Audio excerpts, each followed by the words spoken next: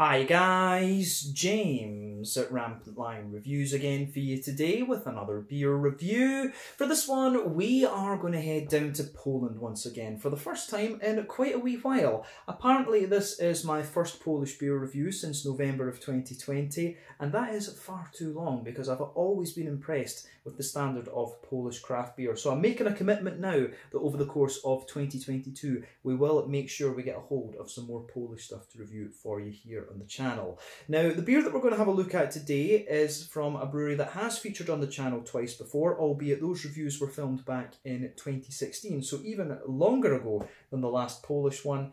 But uh, this brewery is one of the more recognisable names when it comes to Polish craft beer. So I guess it's quite nice that we return uh, to Poland with the, with these guys actually. And this beer is from a series that seems to have very very good uh, write ups actually. So very curious to see what it has in store for us. So hopefully it's another good beer. Hopefully it makes for an interesting review. And as always, I hope that you guys enjoy my take on this one then. And I apologise in advance for any bad Polish pronunciations in this video. Polish is probably the most mental language you're going to find in Europe. It looks nothing like it sounds.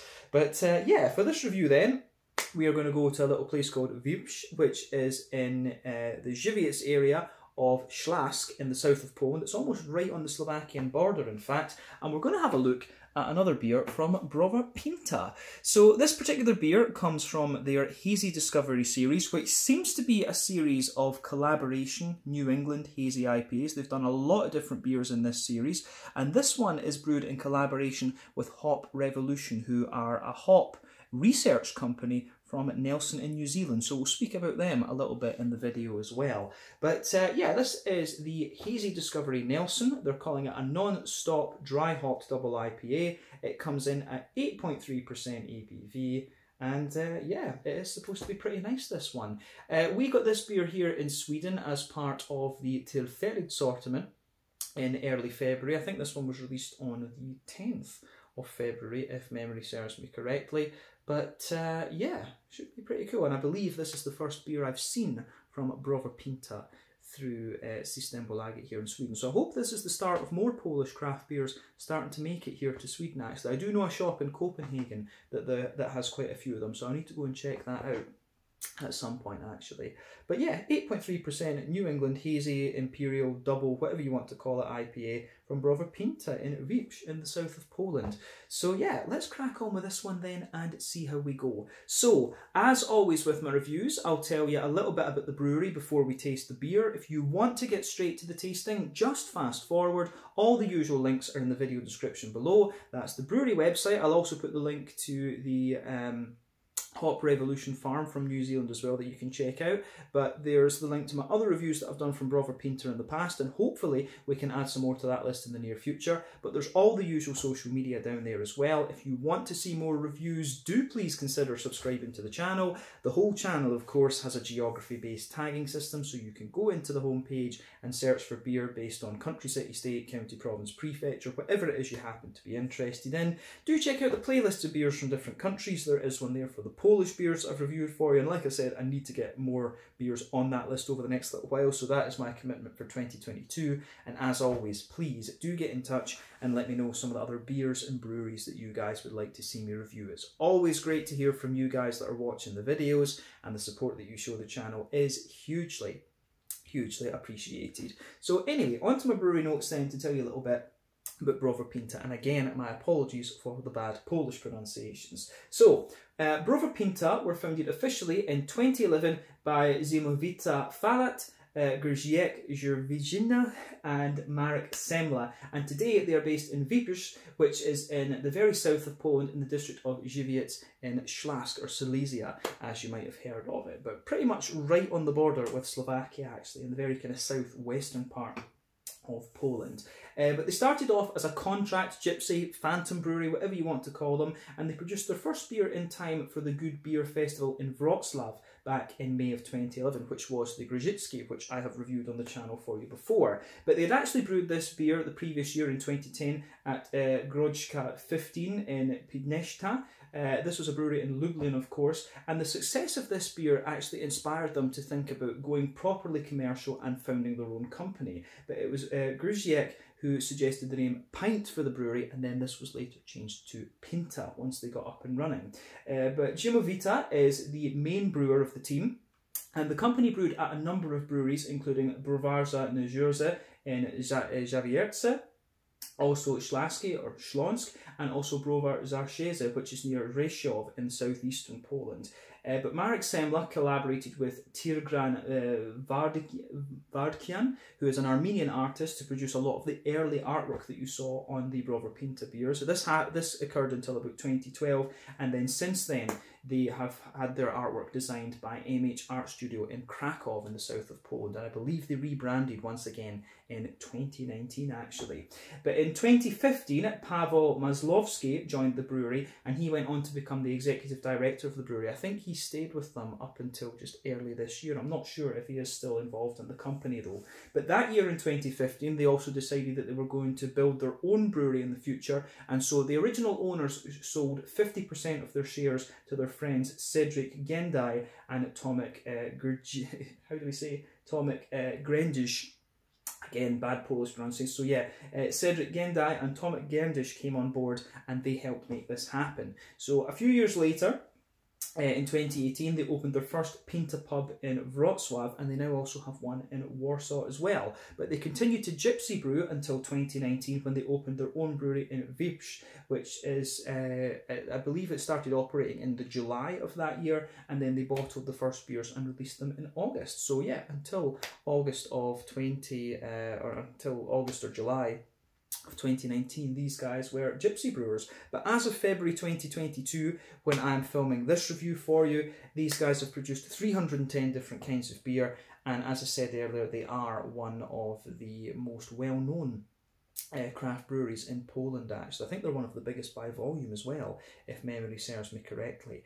But uh, yeah, that is all I can tell you about Browar Pinta. And once again, I truly apologise for butchering the Polish language but it is it has to be. I think I've heard Polish and Hungarian, uh, along with Finnish and Estonian. Those are the two, or the the the. the yeah, Finnish and Estonian are, are Uric languages. For some reason, Hungarian is as well. But yeah, Polish and Hungarian are the craziest languages in sort of Central Europe.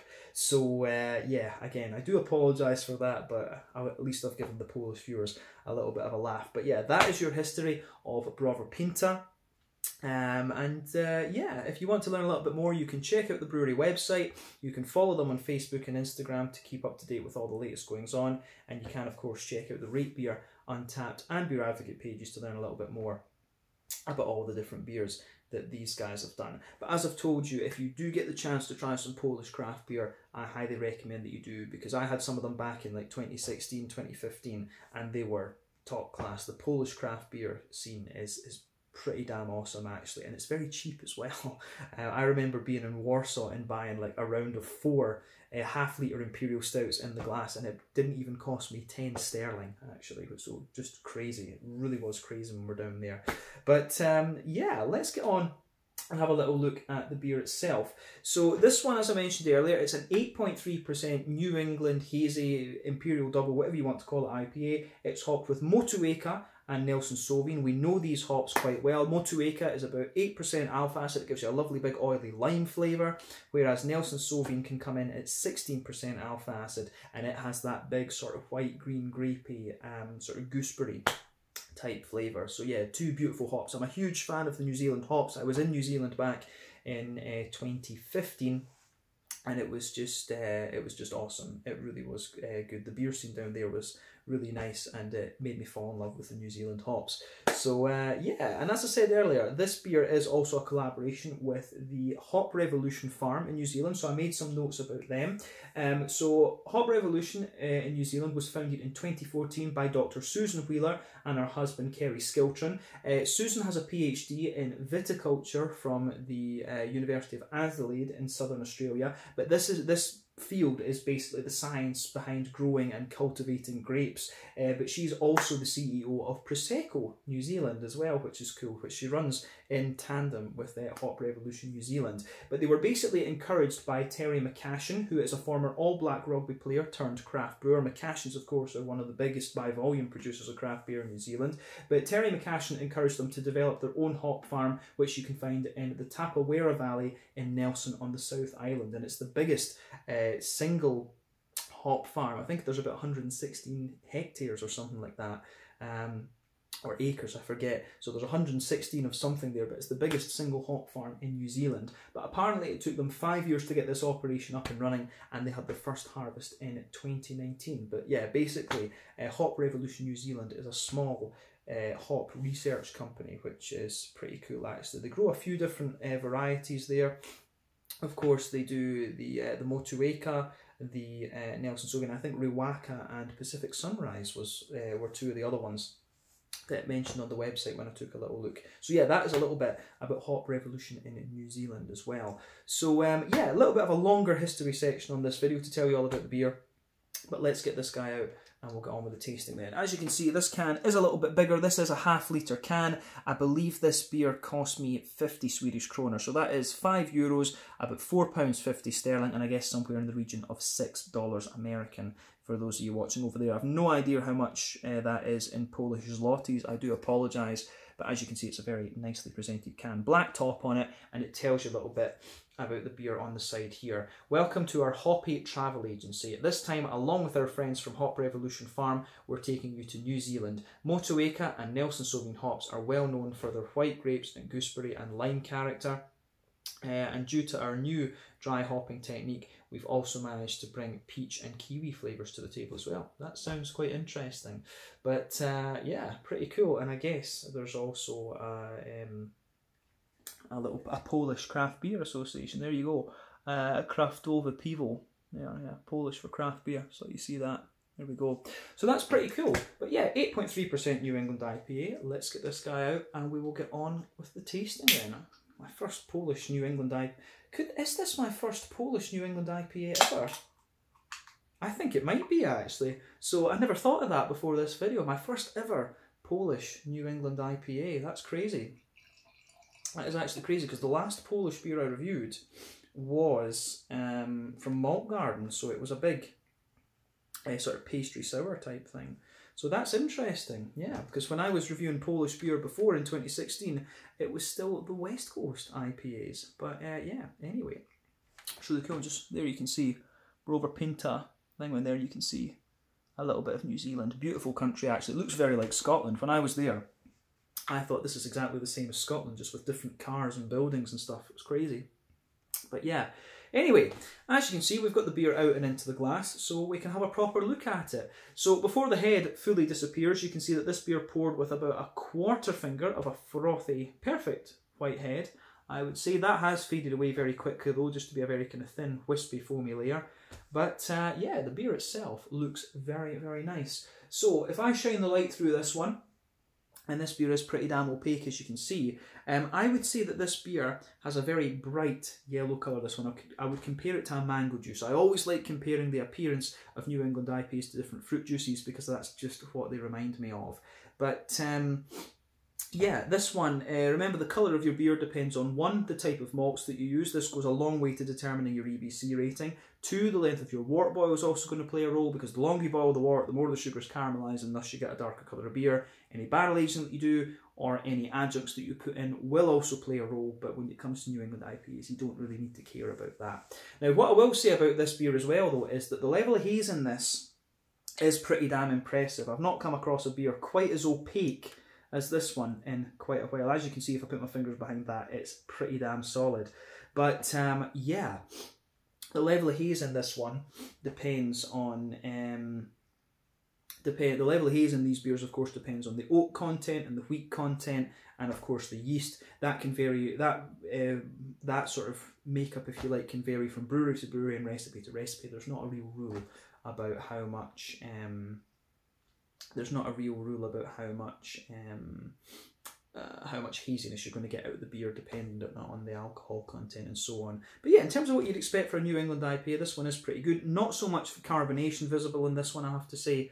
But uh, yeah, in terms of what you'd expect from the style, it is pretty much spot on. So I think we can go on and have a little look at the aroma of this beer then and just see how we go. So let's do that then. Nothing un- untoward, should we say, about the appearance of this beer. Ooh, that does smell really nice actually. It does smell very good. So, Pardon me. a little bit of a sniffy nose there. It was a bit cold outside actually. But yeah, anyway, so first impression of this beer. Um, as I've said to you before, I think there are six different things you need to think about when it comes to New England IPAs. You need to think about the kind of um, the yeasty, farmhousey character of the beer, the rye leaning grainy side of it, of course, and the rye leaning grainy side is a little bit more prominent in the American ones. You've got wheaty bitiness, of course, oaty creaminess, the barley malt breadiness, and you can also get a bit of sweetness out of these beers. My first impression of this one is that this really leans toward the kind of more barley malt bready side of things. And again, I'm curious about this because this is my very first Polish New England IPA, and the west the West Coast IPAs and stuff that you got from over there were brilliant. Actually, loved the the West Coast IPAs that you got from Poland. Um, but yeah, first impression of this one is that it's a nice bready the New England IPA. There's a bit of oatiness in there for sure. Um, it's got a lovely little bit of juicy fruitiness, and the hoppy character in there is quite nice as well. I will also say it does smell quite fresh, and that's something you do have to be aware of in Sweden. Is that sometimes the beers that are imported into Systembolaget they can sit for a bit too long in the warehouse, and the importers and Systembolaget need to work a little bit better on that. But I can say that I think this one is pretty uh, is pretty fresh actually. So anyway. Um, let's go through the aroma of this properly and describe it for you. So, backbone of this beer then, there's a lovely little bit of a soft kind of bread crusty character to it. Lots of nice kind of soft, fresh, fluffy white bread in there. At the back of the nose, you do get a wee bit of a kind of wheaty bitiness there, especially when you take the, the aroma in quite deeply. So yeah, pardon me, there's a nice, there's definitely a nice little bit of uh, yeah, there's a nice wee bit of a kind of uh, bread, yeah, as I say, bread crusty backbone, soft white bread, and then a little bit of wheaty bitiness in the back of the nose. I don't get too much in the way of oatiness out of this in the beginning, but once your nose adjusts to it a little bit, you can smell that lovely, smooth, oaty character. But I don't, I'm curious about this because the oats actually smell quite soft and creamy to an extent, but you're starting to get a wee touch of dryness out of them. And as I've explained in other reviews, when it comes to New England IPAs, the oatiness can be an indicator of how old the beer is. And when the oats are smooth and creamy, that's when the beer is very fresh. But when it gets a little bit drier, that's when it starts to, um, that's when it does start to get a little bit more. Um, that's when it's starting to get a little bit older actually. But I see on the back it says this beer is best before the 28th of the 12th, 2022. So I'm guessing it's been canned just at the very end of December. So we're drinking this beer when it's about six weeks old, which should be fine because I think you should always leave these when they're canned. You should leave them for two weeks, and then you know these beers are going to stay good in the can for yeah like three, four weeks, six I would say at the most. So we're drinking this beer in quite good time actually. As I said, it does smell good. Um, so yeah, and I've had this one sitting in the fridge for maybe for five, six days, something like that. So bear that in mind too. But um, yeah, aroma wise on the malty side of things, this is quite nice. I'm pretty sure there's a bit of golden promise in here. So on top of the oatiness, you're getting a little bit of that Werther's original kind of thing and a wee touch of a McVitie's digestive biscuit. But uh, yeah, for me, the main component of the, the malty side of this beer is the barley malt. I think it's it's got that nice kind of soft white bready character to it. But uh, yeah, very nice smelling beer from the malty side of things. Let's look at the hoppy side of it. Um, yeah, um, green component is very nice in this one. So, as I've explained in other reviews as well, when it comes to New England IPAs, these guys rely mainly on late addition and dry hopping. Um, this one I think smells as if it's almost exclusively dry hopping. Um, but yeah, you get a wee touch of earthiness on the green component there. You get a nice little bit of um, you get a nice little bit of kind of floral aromaticity as well. But I get quite a bit of grassiness out of this one. I think the, the green component really leans towards a quite a slightly zesty, grassy character. Um, but the thing, of course, with late addition and dry hopping is that doesn't give you a big bitterness, and so I find you don't often get quite as deep um, green components uh, in New England IPAs as you often used to in the old West Coast IPAs. Now remember, West Coast IPAs have early edition hopping as well, and it's the early edition hopping within the first hour uh, of the wort boil that gives you a lot of the bitterness. The late edition hopping is the last half hour. That's a lot more common in uh, New England IPAs, and that's why those are less bitter. Dry hopping, of course, gives you no bitterness, and it's all about flavour and aroma. So just bear that in mind. Uh, but yeah, West Coasts have early, dry, and late, whereas New England's tend to only have late and uh, and dry hopping actually. But yeah, Green component, this one is quite nice. Now on the aroma, for me, um, I, actually find the Motueka a little bit difficult to detect. Um, for me, it's a lot of that big soft gooseberry, white green grapey thing from the Nelson Sauvin that really sticks out of this one.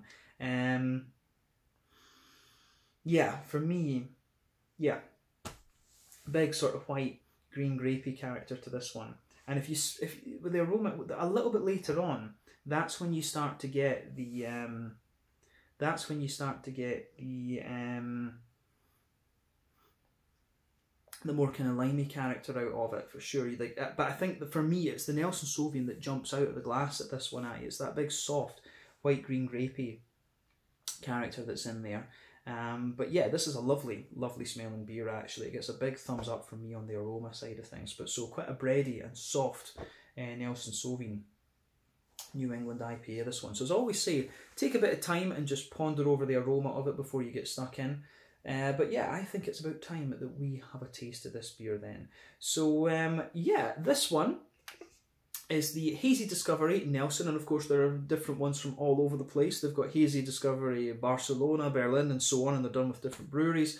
Uh, there was a Copenhagen one with Toil as well. But yeah, this is the Hazy Discovery Nelson, a New England Hazy, whatever you want to call it, Imperial Double IPA from Browar Pinta in Wieprz in uh, Żywiec in the south of Poland in collaboration with Hop Revolution from Nelson in New Zealand. Let's get stuck into this one. Slange, skull, cheers, Nasdrovia.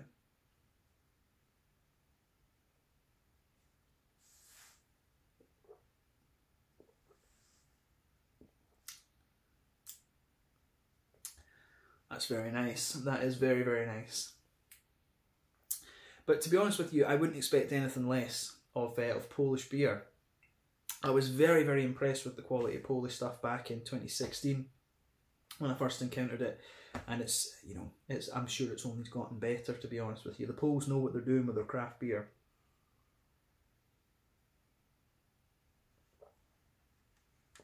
Yeah, that's absolutely solid. Um, first impression of this one is, it's definitely a little bit more um, it's definitely a wee bit more oaty and creamy than the aroma would have you believe. But uh, what I said about the breadiness being quite prominent in this one, I think, is uh, is true. This is a very nice, very solid and smooth New England IPA. Um, yeah, has everything you'd want from the style. Can't complain at all. Now, as I've said, there's so many New England IPAs on the market these days it can sometimes be a bit difficult to distinguish, but that is pretty damn solid actually. The main reason that I bought this beer was because it was Polish and I hadn't had anything from Poland in quite a long time. That was the main reason, but I don't regret it at all. Um, so yeah, this is great. First, new, first Polish New England IPA certainly hasn't disappointed. So give me your Polish beer recommendations in the in the comment section below. I'm sure there's a lot of new breweries that I need to check out.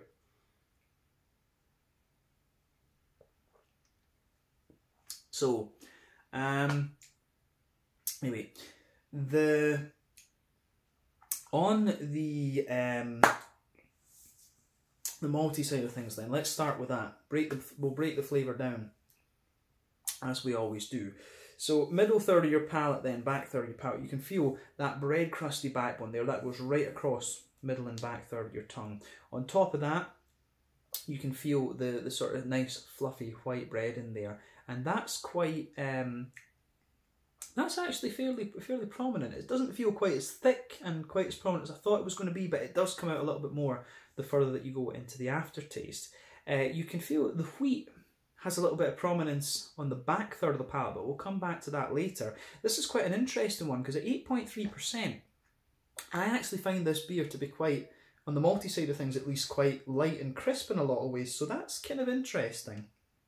This actually reminds me of um, some of the. I, I remember there was a period uh, here in Sweden where quite a few of the, the New England IPA brewers were putting a little bit of Pilsner malt in these uh, New England IPAs to give them a bit of crispness. And I do wonder, there's just something about this beer that makes me wonder if there is a little touch of lager malt in this. Because uh, it just, it has a wee bit of that crispness.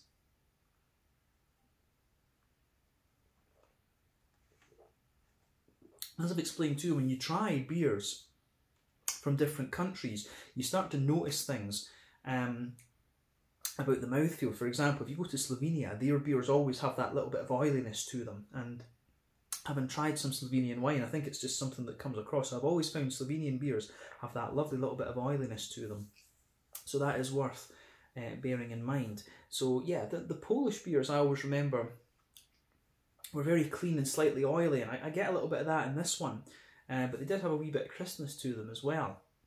So this is this is an interesting one. We need to think about that. But yeah, as I say, bread crust, fluffy white bread in there from the barley malt. You can feel the wheat just thickening it out a little bit on that middle third of the palate too. Then on top of that, you do have quite a nice, thick and kind of creamy um, oaty character there. But if you go toward the back, if you go towards the back of that uh, middle third of your palate, I do get a wee bit of crispness there. So I wonder if that could be a little bit of like Pilsner or Lager malt or something in this. I wouldn't be surprised if there was a little bit of that. But if we focus on the oaty part of the beer, you can feel there's a nice circle in the middle third of your palate there. So you get that nice little circle there and you can feel some Werther's original butter candy, butterscotchy sort of stuff coming out of this one.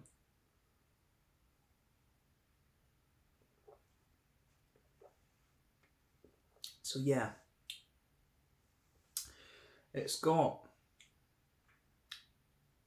yeah, and it definitely has a little bit of that kind of yeah, as we say, Werther's original butter candy, butterscotchy sort of thing to it, and you can feel that right in the the kind of middle of your palate. So that's pretty good. That is pretty nice.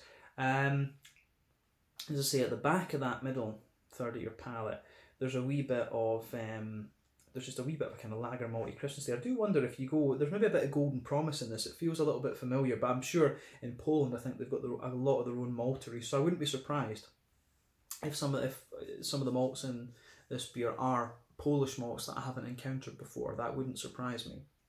But yeah, as I say, in the middle of your palate, you've got a wee bit of that oily Werther's original butter candy sort of thing, and then as you move out towards the extremities of that middle third of your palate, it's certainly a little bit more like McVitie's digestive biscuit that you're getting out of this. So yeah, that's interesting.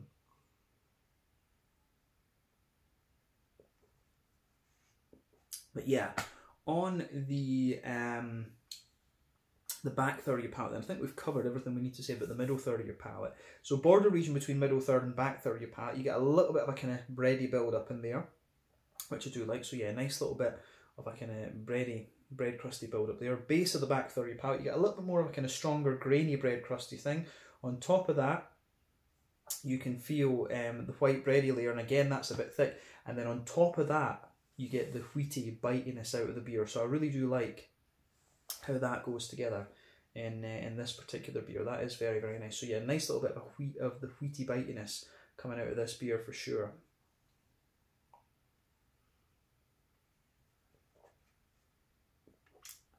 Um, and on top of the wheaty bitiness, you can feel a bit of the yeastiness in this beer. But the wheat, I actually find the wheaty bitiness that you get out of this is pretty strong, and that covers up quite a little bit of the kind of yeasty flavours that you might normally get out of this. But on top of that, you certainly do get a little bit of um, kind of there is a wee touch of a farmhousey, woody, crackery sort of thing there, and so you do get a wee bit of yeastiness on top of that back third of your palate. But you can feel you can feel on the back third of your palate the, the flavour is a little bit taller so as you come further forward as you come further forward on that back third of your palate you can feel as you move further forward the flavour condenses down and squashes together a wee bit more.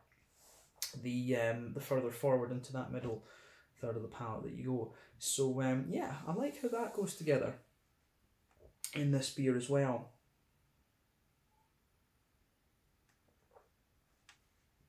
But yeah um, that is very nice. Uh, on top of the, on top of that, I don't think there's anything else we need to say about the malty side of things. I've got a nice malt base to it. This, so yeah, thumbs up to uh, definitely thumbs up to Browar Pinta for this one. Let's focus on the hoppy side of things. So back corners of the palate, a little bit of earthiness there for sure, but then as you move further forward, you quite quickly get um, a good bit of a floral aromatic sort of thing. And I think that's coming from the Nelson Sauvin. Nelson Sauvin at 16% alpha acid, it is, of course, it is very, if you use it as an early edition hop, it's going to give you quite a bit of that, but Nelson Sauvin can surprise you in the level of floral aromaticity that it has. So I actually find as you come further forward on the sides of the palette there, you get quite a little bit of floral aromatic spice out of this one. I'm pretty sure that's down to the Nelson Sauvin a bit more than the Motueka. But round the front curve of the palate, you get a little bit of a lighter grassiness coming out of the beer. Uh, and it has a wee touch of zestiness to it as well, which I definitely appreciate. So yeah, I like the grassy zestiness there. But let's focus on the front third of your palate.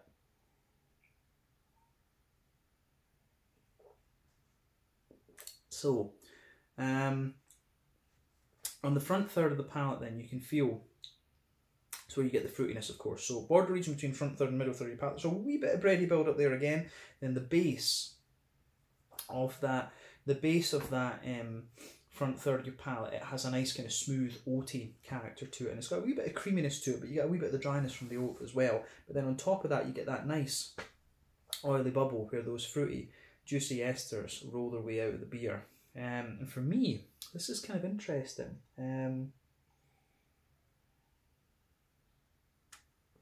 So for me, it actually has a wee bit of, when you take it in, the fruity thing does have a wee bit of sharpness to it, and it is almost a little bit like kiwi. So I can see that. But when you go to the back of that front third of your palate, for me, it's got a, it's definitely a sort of dry, white, grapey kind of thing that you get out of this. And as you move further forward, it becomes a little bit more oily. So yeah, dry, white, green, grapey notes on the back of that front third of your palate. Then as you move into the front half of the front third of your palate, it becomes a little bit more oily. You can feel the lime from the Motueka underneath and then the Nelson Sauvin kind of sitting on top. And um, they were saying on the can here, what was it? Peach and kiwi.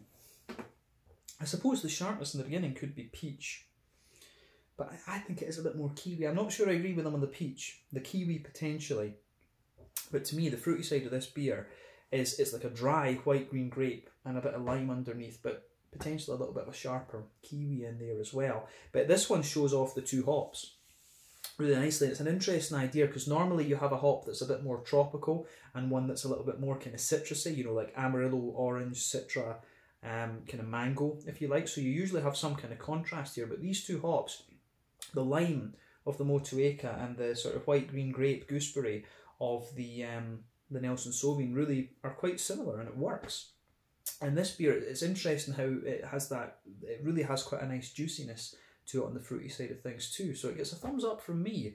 Lovely New England IPA this, and you know, as I said, not surprised with the my previous experience, not surprised about this one based on my previous experiences with Polish craft beer. But uh, yeah, let's uh, round off the review then with the mouthfeel. I don't think we need to say anything else about the flavour of this beer. So yeah, um, mouthfeel this one very very light and very uh, drinkable beer actually, very clean mouthfeel. You have to remember that that region in the south of Poland it's very mountainous, of course, so they're going to have very good quality water there. And it, it feel I think that's probably what's going on in this beer. It feels just really right, light and very clean. It's actually it's it's kind of to the towards the bottom end of, of mid-bodied actually. It's a very light mouthfeel that you get in this. It's very smooth though, it's got a slickness to it. Um, but yeah, very clean beer overall actually, I would say. Uh, in terms of hoppy bitterness, um, there's not a lot to this one. I think this is a fairly standard sort of 30 IBU beer, this one. Um, but the malt base, as we said, very, very smooth. Uh, it gets a bit thicker the further you go into it, and it's got a wee bit of creaminess, and you get a wee touch of sweetness to it as well. A lovely, juicy, fruity character, but um, overall, this is a very, very nice uh, New England double IPA. This one, the fruitiness in this has a wee bit of sharpness to it at the beginning, but it rolls out and just becomes a little bit more dry and oily and stuff the further into it you go. But it's a lovely, lovely um, New England IPA. This one, and it's a massive thumbs up from me. So um, yeah, I really like how this goes together. So a big thumbs up to uh, to Browar Pinta for this. And uh, yeah, I need to when I make it back out to New Zealand because I will go to New Zealand again. I need to check out um, Hop Revolution. It'd be very very good to um, to go and visit them. But yeah, let's leave it at that for this one then. So this was the uh, the hazy discovery Nelson uh, from Browar Pinta in Wieprz in Żywiec in Śląsk in the very south of Poland in collaboration with uh, Hop Revolution from Nelson in New Zealand. A lovely New England IPA and a nice kind of reintroduction, if you like, to Polish craft beer. My first ever Polish New England IPA. But once again, thank you for watching my beer reviews. Until the next time, please like, subscribe, share, all the usual YouTube stuff. Check out my social media, check out their social media, and do let me know some other Polish breweries that I should check out. Till the next time, just now. See you guys soon. Slàinte, Skål, cheers, and Nozdrovia.